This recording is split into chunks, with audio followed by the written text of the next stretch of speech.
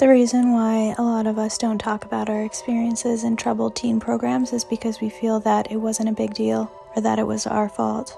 Most of the survivors were already conditioned to believe that what they were going through was no big deal because of other traumas they've already been through. When you're a young person, you don't know what's right and wrong and what's normal and isn't. It was very shocking to me to find out that my experience is completely abnormal and actually abusive. And what's worse is that I had a very light sentence comparatively to students who went to sister schools to mine or other programs like Agape, Trinity Teen Solutions, where they would physically abuse the girls, make them sleep outside, tie them to wild animals, force them to deliver animals being born, only give them oatmeal for 30 days, starve them, and underfeed them.